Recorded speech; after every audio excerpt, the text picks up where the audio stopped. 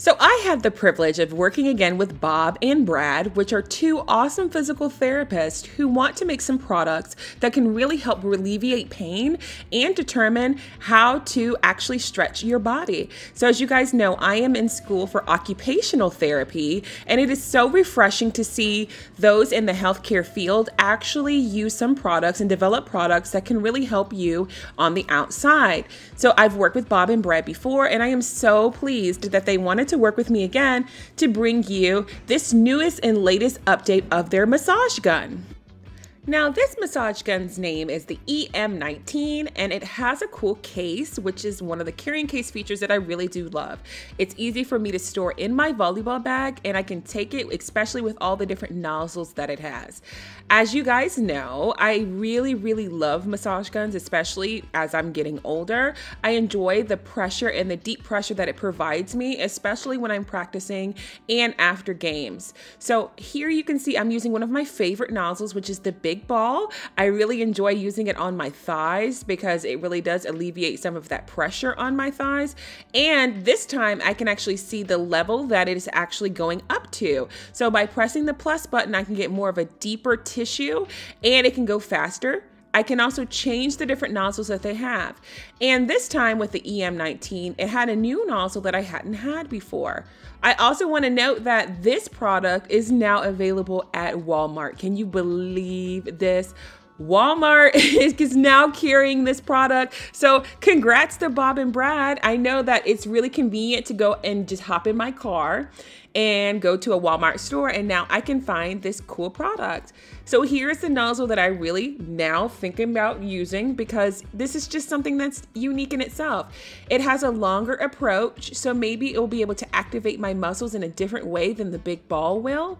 So I'm really excited to try this out after my next game. I really hope that you go and check out, but I do have some really great news for, about this product as always, you guys know I love you and I want to bring you something new. I'm going to give away one of these. In order for me to give this away to you, you need to follow me and like the video, comment your favorite volleyball position, and share the video once. So let's get into the video.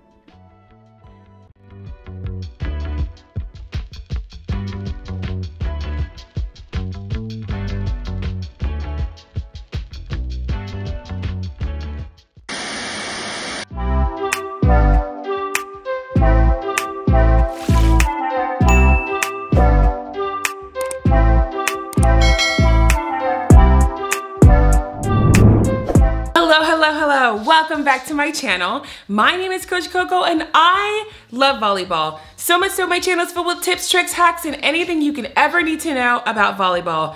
So I recently did a video on volleyball rotations, but let's talk about how those positions work. If you are new to volleyball, this is an exceptionally good video for you. I've done videos on my channel before outlining the different volleyball positions, but what does that even mean? How does it work? Let's get right into it. So if you didn't already know, when you're playing volleyball with any sport, there are certain positions that you should follow. There are positions like the libero, the outside hitter, the middle hitter slash middle blocker, the the right side, the setter, the there's a lot of different, the defensive specialist. There's a lot of different positions that you can choose to be. I'm a huge advocate of learning how to play and learn every basic skill before you decide into a position because you want to choose something that has longevity, something that you love, something that will translate for a long period of time. You want to make sure that you give yourself the best chance to follow up with something that you're passionate about. So that means learning all of the basic skills before you dedicate yourself to a specific position and narrow in. So when you think about volleyball as this huge expanse of knowledge, you want to learn as much as you can basically from here, then narrow in and then narrow in into your passion. So in this video, we're going to talk about what those positions mean and what does it mean to choose a volleyball position. So when you're choosing a volleyball position, like I said, choose something that you're passionate about. If you know that you're a really great passer, you can see yourself doing some really incredible saves.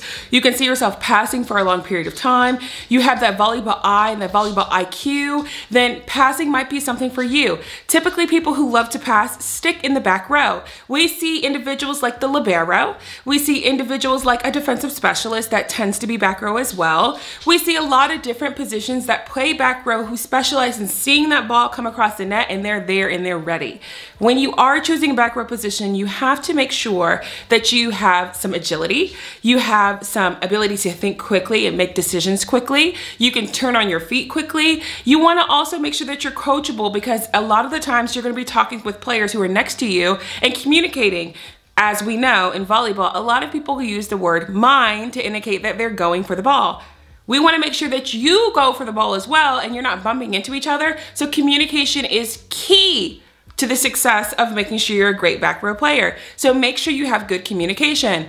That is something that you should think about when you're a back row player, but also you should know how to set because sometimes the ball is out of system, out of rotation, out of this place that it's supposed to be, and it ends up in the back row and you have to set it across the court to a hitter in the front.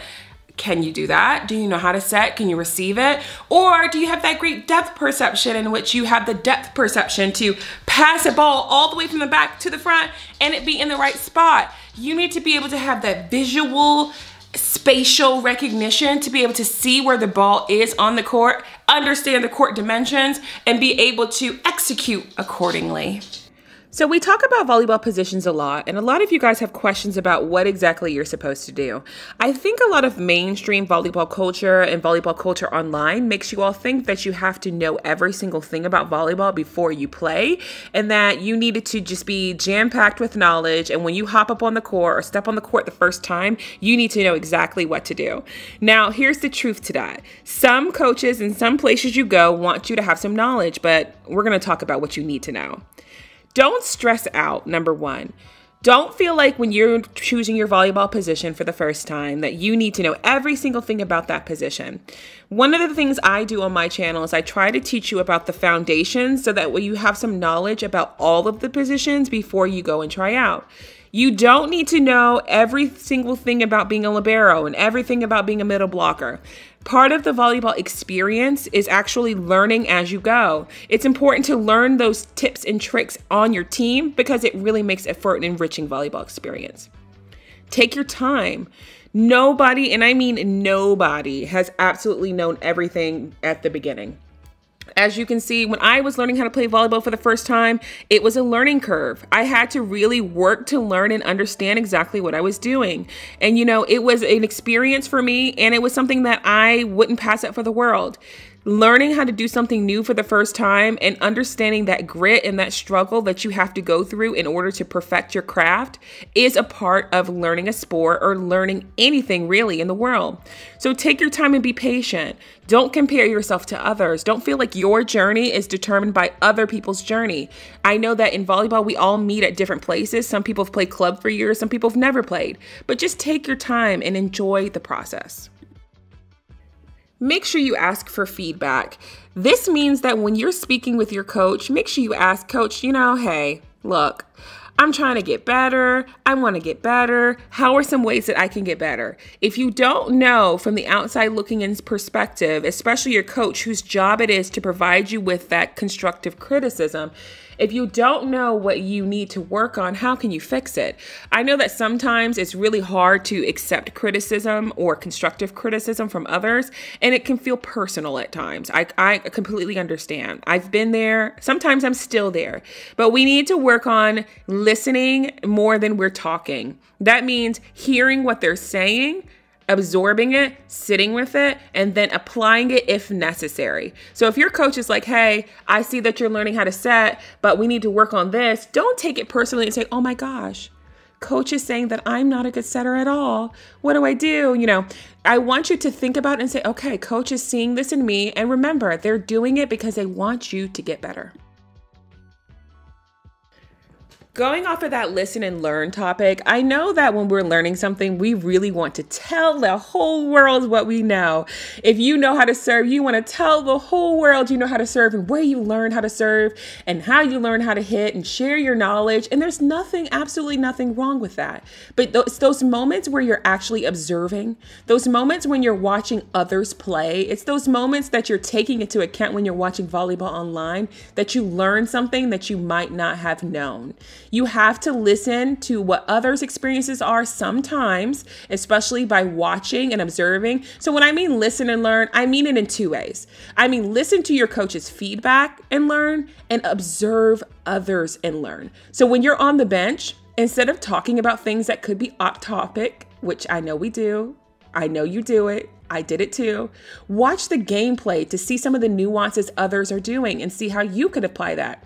Make it situational. If something happens in the game, what could you have done differently that have maybe made a different outcome? Okay? This is what I want you to do and take some time and take into account.